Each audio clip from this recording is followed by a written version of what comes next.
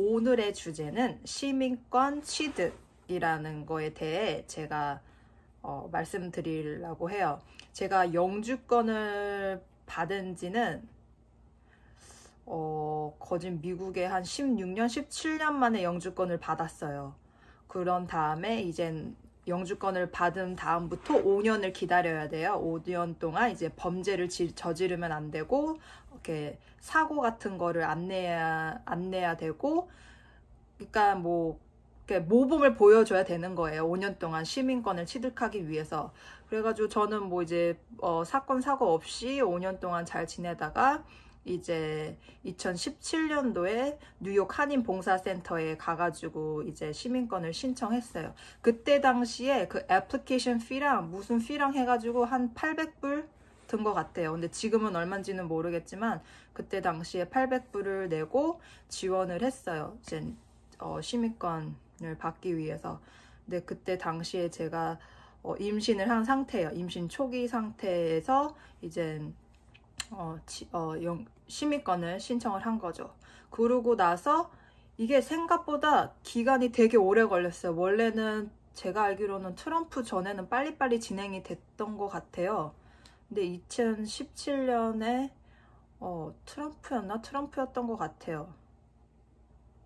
아니었나? 잘 대통령은 잘 누군지 모르는데 아무튼 거기 일하는 일하시는 분이 저한테 말씀하시길 어, 요즘에는 이렇게 프로세싱 하는 타이밍이 되게 길어가지고 뭐 길게는 뭐 6개월까지 된다고 하더라고요.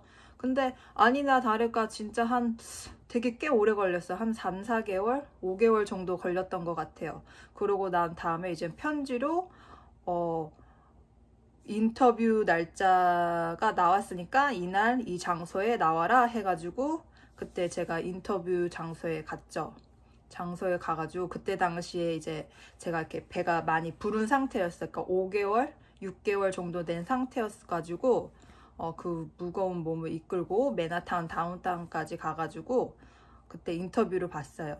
인터뷰를 볼때 어, 그렇게 많은 문제는 안 나왔거든요. 근데 이제 1대1로 이렇게 무슨 방에서 1대1로 이렇게 대화를 하면서 받아쓰기도 있었고 읽는 것도 있었어요. 그러니까 예를 들어서 Who's the first president of America 이러면은 George Washington 이렇게 말을 하고 그 다음에 뭐 쓰기 같은 것도 그 사람이 문장을 얘기해줘요. 그럼 저는 그거 듣는 대로 이제 쓰면 되는 거예요. 그러니까 저한테는 영어를 제가 해, 서 그런지 그리고 저는 초, 중, 고등학교, 대학교까지 나왔잖아요. 그래서 그런지 저는 이렇게 어, 공부를 당연히 해갔죠. 근데 이렇게 어렵지는 않았어요. 제가 어, 되게 쉽게 쉽게 했던 것 같아요. 그리고 되게 쉬운 문제를 냈어요. 그러니까 첫 번째 대통령은 누구냐, 그리고 지금 대통령은 누구냐, 현재 지금 대통령은 누구냐, 뭐 이런 거를 말했던 것 같아요. 물어봤던 것 같아요.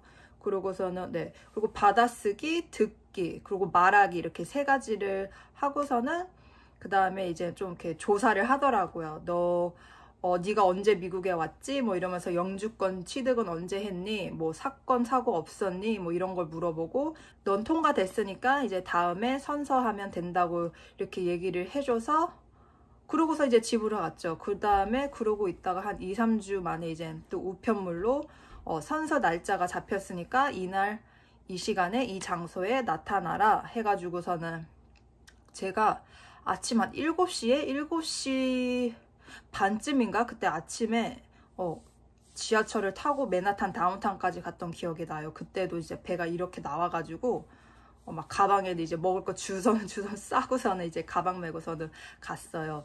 가가지고 어 갔더니 거기에 이제 사람들이 되게 많이 있더라고요. 많이 있는데 이제 제가 이렇게 딱 문을 열어서 딱 가자마자 거기 있던 일하는 분이 있더라고요. 근데 뭐 또 섹션별로 또 따로가 따로 있더라고요. 뭐 그러니까 어떻게 나눠지는 모르는데 일단 저는 들어갔는데 저는 이제 맨 뒤에 앉으려고 했어요. 오는 순서대로 앉는 것 같더라고요. 그래서 이제 오는 순서대로 앉으려고 하는데 어떤 사람이 저를 보더니 아 너는 이쪽 앞으로 와라고 하더라고요. 그러니까 제가 임신을 해가지고 임신을 한 거를 아니까 저를 우선적으로 이렇게 앞에다가 앉으라고 이렇게 배려를 해주더라고요. 그래서 되게 어, 감사했죠. 다행히 저는 이렇게 빨리빨리 안 그러면 맨 뒤에 있었으면은 어, 진행이 좀 느렸을 텐데 다행히 저는 이제 맨 앞에 앉게 돼가지고 어, 빨리빨리 끝낼 수 있었어요. 그래가지고 거기 선서했을 때 어, 여권이랑 그 다음에 그 우편 선서 우편을 우편 받은 거 그거랑 이렇게 같이 가져가가지고 이제 제출을 하고 그 사람이 본인인지 아닌지 확인을 하더라고 1대1로 이렇게 불러서 그거 확인하고 다시 제자리에 앉고 이렇게 까만 가운을 입고 이렇게 되게 윗분이 여자분이었던 거 윗분이 나오시더니 다 일어서 해가지고 다 일어서고 그 다음에 이제 선서 가슴에 손을 얹고서는 이제 선서를 시작했죠. 그러고 나서 어, 너네는 이제부터는 오늘로부터는 너네들은 시민이다. 미국 시민이기 때문에 올바른 태도와 올바른 활, 어, 행동으로 어, 그리고 뭐 우리 나라를 위해서 어, 니네가 희생할 각오를 해야 된다. 뭐 이런 거를 이렇게 얘기를 하더라고요. 제가 기억에 남는 게 뭐냐면 제가 이제 앞에 있었잖아요. 거기 이제 중국 분들도 많이 계셨어요. 근데 이렇게 1대1로 뭐 이렇게 부르면서 이제 뭐 아주 조촐하게 일, 다시 1대1 인터뷰를 해요. 이제 근데 저는 이제 앞에 있으니까 그 앞 저 앞에 이렇게 소리가 들려요. 그 사람들이 뭘 물어보고 뭘 하는지.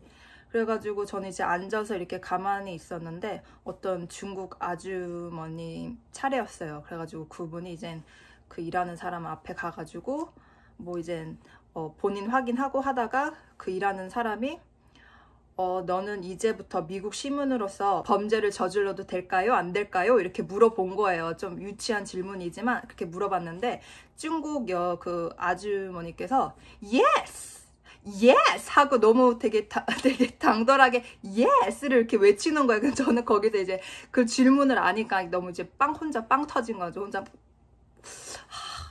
영어를 못 알아듣는데 어떻게 취미권을 따지 하고선 속으로 내심 걱정을 했는데 그, 이, 그렇게 물어보던 그 사람도 너무 웃겼는지 갑자기 막, 이렇게 막 웃더니, 아, 너 이제 시민권 앞으로 오늘부터 너 시민권을 받게 되니까 집에 가서 영어 공부 많이 해라. 이렇게 하면서 이제 그 중국 여자분을 이렇게 보냈어요. 근데 저는 그때 너무 웃겼어요. 시민권을 취득했다고 해서 딱히 뭐 이렇게, 벼, 이렇게 뭐 생활이 변한 거는 없는데 그래도 마음이 좀 편하죠.